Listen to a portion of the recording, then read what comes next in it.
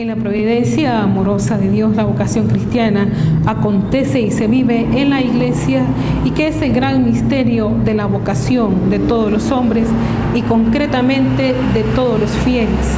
Llama a sí mismo cuando la iglesia proclama la palabra de Dios de múltiples y variadas formas y cuando se dirige a cada hombre y especialmente a cada cristiano actuando como instrumento de los cuidados personales que Dios le prodiga a través pues de la acción pastoral.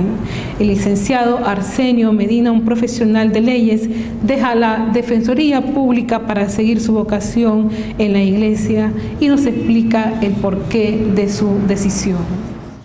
Buenas tardes, nos encontramos desde el monasterio albertiniano es un placer enorme estar con mi profesor de Historia de la Iglesia y también su cargo que estaba en la Fiscalía, el eh, licenciado Arsenio Medina. Eh, licenciado, ¿cómo un hombre llega a dar ese cambio tan radical de estar en un ambiente muy secular defendiendo o acusando y estando en medio de los pleitos que, la sociedad eh, está continuamente haciendo y venir a esta tranquilidad, a este sitio de oración? Bueno, pues la verdad es que el Señor está en todos los lugares, aunque siempre hay lugares específicos donde el llamado de Dios es más claro. En mi caso, pues yo a la parte de mis estudios de derecho y mi trabajo en la fiscalía, pues yo también estudié teología por cinco años y todo ese tiempo fue un discernir eh, para ver qué es lo que Dios quería de mi vida.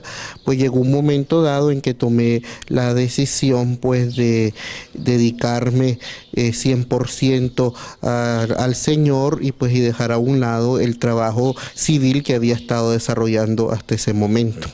¿Hay algún contraste o hay algún equilibrio entre estudiar las leyes y meterse realmente con el Señor en este estilo de vida? ¿Cómo abandonar todo o seguir en una continuidad o ha servido un proceso, licenciado? Bueno, la verdad es que del trabajo de la Fiscalía siempre fue un servicio a las personas que sufren y en lo que es la vocación sacerdotal pues siempre es un servicio a todo el que sufre y en el que sufre lo que cambia es la dimensión es que uno tiene que ver a Cristo.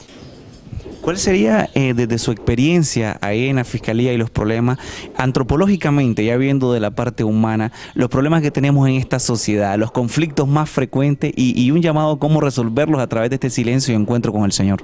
Bueno, la verdad es que el origen de todos los problemas...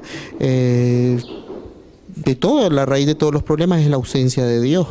En la medida en que uno se vuelve a Dios, pues uno va a poder encontrar la solución a estos problemas. Entonces siempre es un volver al origen. Nacimos de Dios y al volver a Dios vamos a volver a encontrar el verdadero sentido. Cuéntenos ahora los, los, sueños y las metas. Ahora sabemos que va a trabajar en, la diócesis de Jinotega. ¿Por qué no Matagalpa? ¿Por qué no Estelí? ¿Cuál es, cuál ¿En qué tiene en mente ahora en sus sueños con este camino del Señor? No, pues el, proceso canónico normal de, formación, en este caso pues ya más que todo espiritual, porque el académico ya se concretizó, y después posteriormente, en este caso mi superior delegado, que es el padre Jaime, en comunión con el obispo que me acepta, pues se buscará en donde se eh, haya mayor necesidad en la diócesis. Una última pregunta, porque sabemos que su tiempo es muy, muy corto. Usted le encanta esa clase de Mariología que la recibí con usted.